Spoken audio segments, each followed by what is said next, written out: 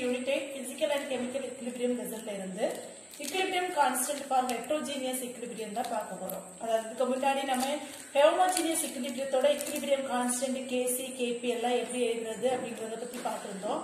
So இந்த ஹெட்ரோஜீனியஸ்னா என்ன homogeneous equilibriumனா என்ன நம்ம முந்தின வீடியோல பார்த்தோம். அதாவது ஹோமோஜீனியஸ் அப்படிங்கிறது என்னது? ரியாக்டன்ஸ் நம்ம எடுக்கக்கூடிய ரியாக்டன்ஸும் ப்ராடக்ட்டும் சேம் ஃபேஸ்ல இருந்துச்சு அப்படின்னா நம்ம என்ன சொல்லுவோம்?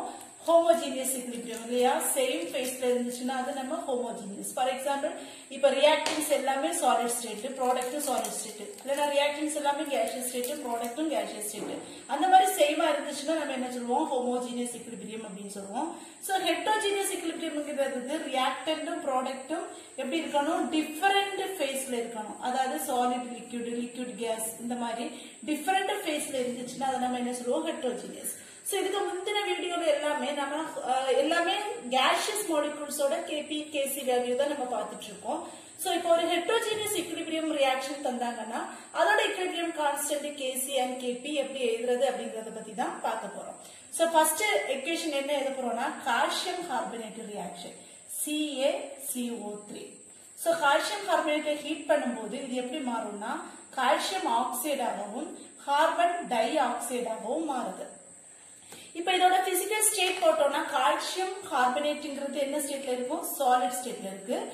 கால்சியம் ஆக்சைடுங்கிறது என்ன ஸ்டேட் தான்? சாலிட் ஸ்டேட் கார்பன் டை ஆக்சைடுங்கிறது என்ன ஸ்டேட் கேஷியஸ் ஸ்டேட் இல்லையா? இப்போ டிஃபரெண்ட் டிஃபரெண்டா இருக்கிறதுனால தான் நம்ம இது என்ன சொன்னோம் ஒரு ஹெட்ரோஜீனியஸ் equilibrium அப்படின்னு சொல்றோம். சோ இதோட KP and KC KP value and KC value எப்படி எழுதணும் அப்படின்னு பாத்தீங்கன்னா இப்ப கேசி வேல்யூ நம்ம ஆல்ரெடி பார்த்திருந்தோம். எப்படி எழுதணும்? கான்சன்ட்ரேஷன் இல்ல என்னென்ன சொல்லலாம் ஆக்டிவ் மாஸ்னு சொல்லலாம். ஸோ கான்சென்ட்ரேஷன் எழுதும்போது எப்படி எழுதணும் concentration of product divided by concentration of the reactant இல்லையா அப்போ ப்ராடக்டோட கான்சன்ட்ரேஷன் இதுதான் எங்க ப்ராடக்ட் சிஏஓ சிஓ டூங்கிறது என்னது ப்ராடக்ட் சோ இதோட கான்சன்ட்ரேஷன் போட்டோம் அப்படின்னா concentration of CAO into concentration of carbon dioxide divided by product என்ன சாரி ரியாக்டன்ட் என்ன இருக்கு கால்சியம் கார்பனேட் சோ யூஸ்வலா நம்ம ஒரு கேசி வேல்யூனா இப்படிதான் எழுதுவோம் பட் இது ஹெட்ரோஜீனியஸ் equilibrium ஆனதுனால ஒரு கண்டிஷன் என்ன கொடுத்துருக்காங்கன்னா இப்ப இதோட இதோட ஸ்டேட் அப்படியே போட்டுடலாம். கால்சியம் ஆக்சைடுங்கிறது என்னது? சாலிட் ஸ்டேட் கார்பன் டை ஆக்சைடுங்கிறது கேஷியஸ் ஸ்டேட் இதுவும் வந்துட்டு என்ன ஸ்டேட் சாலிட் ஸ்டேட் சரியா? இப்போ ஒரு ஹெட்ரோஜீனியஸ் equilibriumத்துல பியூர் சாலிடோ பியூர் லிக்விடோ இருந்துச்சுன்னா அதோட கான்சென்ட்ரேஷன் சேம் ஆயிருக்கும் அப்படின்னு சொல்றாங்க. அதாவது கான்ஸ்டன்டா இருக்கும் அப்படின்னு சொல்றாங்க. ஒரு ரியாக்ஷன் நடந்தாலுமே நம்ம எடுக்கக்கூடிய ரியாக்டன்ஸ்லயா இருந்தாலும் சரி ப்ராடக்ட்லயா இருந்தாலும் சரி அந்த பியூர் சாலிடையோ பியூர் லிக்விடையோ நம்ம எடுத்திருக்கோம் அப்படின்னா அதோட இக்லிபிரியம் கான்ஸ்டன்ட் வேல்யூ எப்படி இருக்குமா? கான் equilibrium கான்ஸ்டன்ட் அதாவது அதோட கான்சன்ட்ரேஷன் வேல்யூ எப்படி இருக்குமா? கான்ஸ்டன்டா இருக்குமா. இப்போ பாத்தீங்கன்னா இங்க நம்ம கால்சியம் ஆக்சைடு சாலிட் ஸ்டேட்ல இருக்கு இல்லையா? அப்ப இந்த இதோட கான்சன்ட்ரேஷன் எப்படி இருக்கும்னு சொல்றாங்க? கான்ஸ்டன்டா இருக்கும். இல்லைன்னா சேமா இருக்கும். ஒரே மாதிரி தான் இருக்கும். அதுல எந்த டிஃபரன்ஸ் இல்லை. அதனால நம்ம இதோட கான்சன்ட்ரேஷன் நம்ம என்ன பண்ண வேண்டாம் எழுத தேவையில்லை. இது பாத்தீங்கன்னா கேஷியஸ் ஸ்டேட்ல இருக்கு. கேஷியஸ் ஸ்டேட்ல இருக்கு. அதாவது இது பியூர் சாலிட் பியூர் லிக்விடுக்கு மட்டும்தான் இந்த கண்டிஷன் அப்ளிகபிள் இப்ப கேஷியஸ் ஸ்டேட்ல இருக்கிறதுனால என்ன செய்யாது? அதோட கான்சன்ட்ரேஷன் சேஞ்ச் ஆகும். அதே மாதிரி இந்த ரியாக்டன்ட் பார்த்தோம் அப்படின்னா கால்சியம் கார்பனேட்டும் அது என்னது? கேஷியஸ் சாரி சாலிட் ஸ்டேட்ல இருக்கு. இது வந்துட்டு ஒரு பியூர் சாலிட் சோ இந்த ரெண்டோட கான்சன்ட்ரேஷன் இங்க என்ன ஆகுது?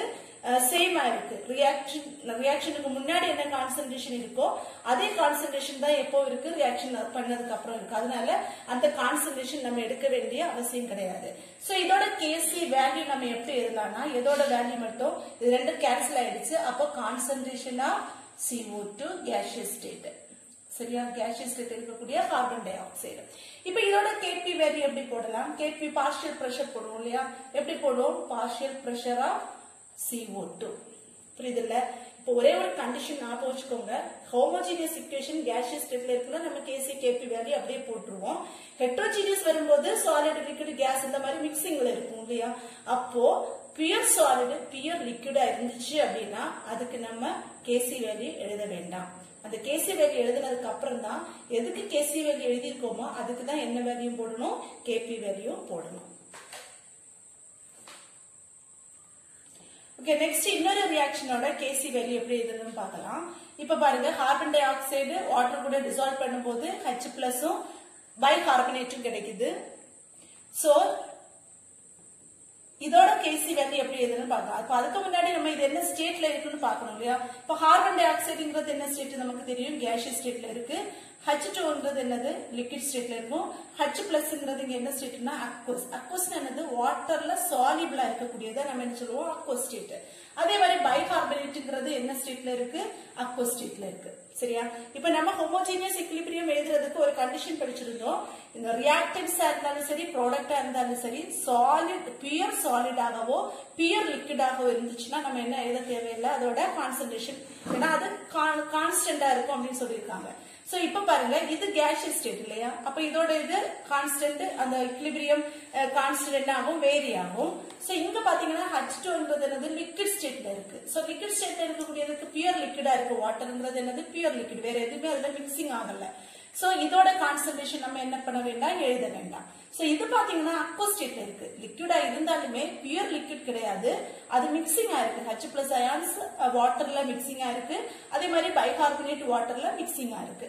சோ இதோட கேசி வேல்யூ எப்படி எழுதலாம்? கேசி இஸ் ஈக்வல் டு என்ன வரும்? Concentration of product divided by concentration of reactant அப்போ concentration of H plus aqueous இங்க என்னது? கான்சன்ட்ரேஷன் ஆஃப் பைகார்பனேட் இதுவும் aqueous state. Divided by carbon dioxide gaseous state. புரிஞ்சதில்ல? இதுதான் என்னது? கேசி வேல்யூ இதோட கேசி வேல்யூ எழுதிட்டோம். இதே மாதிரி இன்னும் கொஞ்சம் இக்குவேஷன்ஸ் கொடுத்திருக்காங்க. அதோட கேபி அண்ட் கேசி வேல்யூ எப்படி கண்டுபிடிக்கிறதுன்னு நெக்ஸ்ட் பார்க்கலாம்.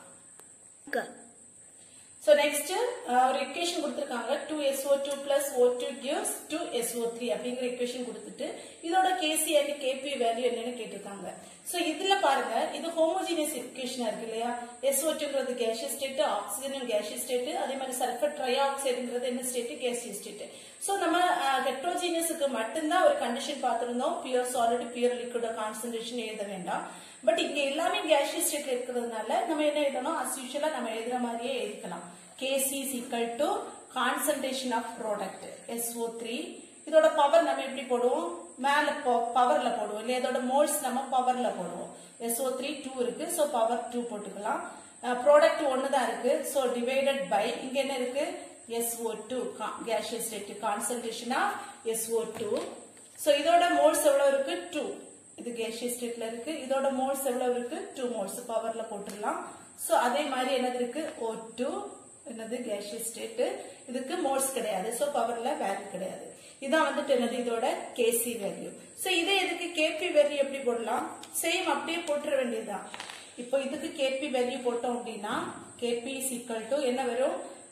ஃபேஷியன் pressure of sulphur trioxide power 2 divided by partial pressure of sulfur dioxide power 2 into partial pressure of oxygen. இதுக்கு பவர் கிடையாது. ஸோ இது ரொம்ப சிம்பிள் ஒரே ஒன்னே ஒன்று மட்டும் ஞாபகம் வச்சீங்கன்னா ஈஸியாக போட்டுடலாம். சாலிடு லிக்விட் வந்துச்சுன்னா மட்டும் அதோட கான்சன்ட்ரேஷன் என்ன பண்ணக்கூடாது? எழுதக்கூடாது. Carbon monoxide next carbon dioxide and carbon கிடைக்குது. ஸோ இந்த இக்குவேஷனோட கேசி அண்ட் கேபி வேல்யூ கேட்டிருக்காங்க.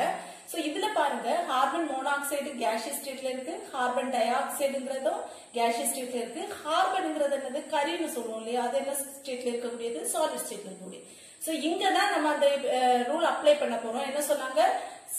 பியூர் சாலிடோ பியூர் லிக்விடோனா என்ன எழுத வேண்டாம்? கேசி வலி எழுத வேண்டாம். ஏன்னா அது எப்படி இருக்கும்? கான்ஸ்டன்டா இருக்கும் அப்படின்னு சொல்லியிருக்காங்க. கான்சன்ட்ரேஷன் எப்படி இருக்கு கான்ஸ்டன்டா இருக்கு. சோ இங்க பாத்தீங்கன்னா கார்பன் மோனாக்சைடு கேஷியஸ் ஸ்டேட் எழுதணும்.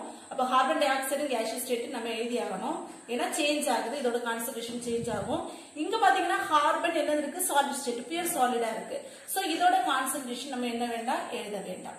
இப்ப கேசி வேல்யூ எழுதலாம் ஈஸியா கேசி இஸ் ஈக்குவல் டு ப்ராடக்ட்ல கார்பன் டை ஆக்சைடு மட்டும்தான் இருக்கு. சோ அதை போட்டுட்டோம். டிவைடட் பை என்னது? Concentration of reactant CO power two இருக்கு. டூ மோட்ஸ் இருக்கிறதுனால பவர் டூ போட்டுடலாம். சோ இதே மாதிரி இதோட கேபி வேல்யூ போட்டோம்னா எப்படி எழுதலாம்? KP is equal to partial pressure of carbon dioxide mole எதுவும் கிடையாது. Divided by partial pressure of carbon monoxide power two okay next equation பாருங்க. Silver oxide AG two O solid state இருக்கு. Ammonia aqua ஸ்டேட்ல இது ரெண்டுமே react பண்ணி கிடைக்கிறது என்னது? Silver nitrite and water so இந்த இக்குவேஷன் கொடுத்துட்டு நமக்கு கேசி கேபி வேல்யூ கேட்டிருக்காங்க. சோ பாருங்க இது ஒரு ஹெட்ரோஜீனியஸ் ஹெட்ரோஜீனியஸ் இக்குலிபிரியத்துல இருக்கு இல்லையா? அதாவது இந்த சாலிட் இருக்கு இது அப்போ ஸ்டேட்ல இருக்கு இது அப்போ ஸ்டேட் லிக்விட் ஸ்டேட் சோ ஹெட்ரோஜீனியஸ்ல என்ன சொல்லியிருக்காங்க? பியூர் சாலிடோ பியூர் லிக்விடோ இருந்துச்சுன்னா கான்சென்ட்ரேஷன் சேஞ்ச் ஆகாது சேமா இருக்கும். சோ அதனால அதோட கேசி அண்ட் கேபி வேல்யூ தேவையில்லை அப்படின்னு சொன்னாங்க. சோ இப்போ இது நமக்கு தேவையில்லை இல்லையா? சாலிட் ஸ்டேட்ல இருக்கு. அக்வா ஸ்டேட்ல இருக்குன்னா என்னது? லிக்விட் ஸ்டேட் தான் பட் அமோனியா வாட்டர் கூட டிசால்வ் ஆயிருக்கு. சோ அது பியூர்னு சொல்ல முடியாது. அதே மாதிரி சில்வர் நைட்ரேட் என்னது? வாட்டர் கூட டிசால்வ் ஆகி அக்வ ஸ்டேட்ல இருக்கு. இங்க வாட்டர்ங்கிறது லிக்விட் ஸ்டேட்ல எதுவுமே டிசால்வ் ஆகல. சோ இதோட கான்சென்ட்ரேஷன் நம்ம எழுத தேவையில்லை. இப்ப ஈஸியா கேசி போட்டுடலாம்ல. அப்ப KC is equal to concentration of product என்ன இருக்கு? ஏஜி என்ஓ த்ரீ இதோட பவர் எவ்வளவு இருக்கு? டூ மோல்ஸ் இருக்கு. சோ பவர் டூ போட்டுடலாம். டிவைடட் பை இங்க என்ன இருக்கு? NH three reactant concentration of reactant இதோட பவர் டூ சரியா? இப்ப இதோட கேபி வேல்யூ எழுதக்கூடாது. ஏன்னா நம்ம ஆல்ரெடி ஒண்ணுல படிச்சிருந்தோம் ஞாபகம் இருக்கா? ஐடியல் கேஸ் சுச்சுவேஷன் ஒண்ணு நம்ம இது பண்ணி எடுத்தோம்ல. அப்போ கேபி வேல்யூ கண்டுபிடிக்க வேண்டியது அதாவது நம்ம எடுக்கக்கூடிய ரியாக்ஷன் அந்த எக்லிபிரியம் ரியாக்ஷன் வந்து கேஷியஸ் ஸ்டேட்ல இருக்குன்னா மட்டும்தான் நம்ம என்ன எழுதணும்? கேபி வேல்யூ எழுதணும். மற்றபடி சாலிட் ஸ்டேட்டோ லிக்விட் ஸ்டேட்டோ அக்வ ஸ்டேட்ல இருக்குன்னா அதோட கேபி வேல்யூ எழுதக்கூடாது. புரியுதுல்ல? சோ இந்த ரியாக்ஷனுக்கு என்ன கிடையாது? கேபி வேல்யூ ஏன்னா என்ஹெச் த்ரீ அக்கோ ஸ்டேட்ல இருக்கு AgNO3 த்ரீ என்ன ஸ்டேட்ல இருக்கு? அக்கோ ஸ்டேட்ல இருக்கு. சோ அதனால இதுக்கு கேபி வேல்யூ வராது. சோ இதான் வந்துட்டு ஹோமோஜீனியஸோ ஹெட்ரோஜீனியஸ் இக்குவேஷன் கொடுத்துட்டு அதோட கேபி கேசி வேல்யூ கேட்டாங்கன்னா அது ஒரே ஒரு கண்டிஷன் மட்டும் ஞாபகம் வச்சுக்கோங்க. ஹெட்ரோஜீனியஸ் இக்குவேஷன்ல சோ பியர் சாலிட் பியர் லிக்விட்னா நம்ம என்ன பண்ண வேணாம்? கான்சன்ட்ரேஷன் எழுத வேண்டாம். ஏன்னா அது சேமா இருக்கு. அந்த ஒரு கண்டிஷனை மட்டும் ஞாபகம் வச்சீங்கன்னா ஈஸியா நமக்கு கேபி அண்ட் கேசி வேல்யூ எழுதலாம். அப்புறம் அப்போ ஸ்டேட்ல இருக்கக்கூடியதுக்கெல்லாம் கேபி வேல்யூ வராது. ஏன்னா ரெண்டுமே அப்போ ஸ்டேட்ல இருக்கு. அதனால கேபி வேல்யூ இதுக்கு தேவையில்லை. பார்ஷியல் ப்ரெஷர் எழுத தேவையில்லை. ஸோ எல்லாருக்கும் புரிஞ்சிருக்கும்னு நினைக்கிறேன். தேங்க்யூ ஃபார் வாட்சிங்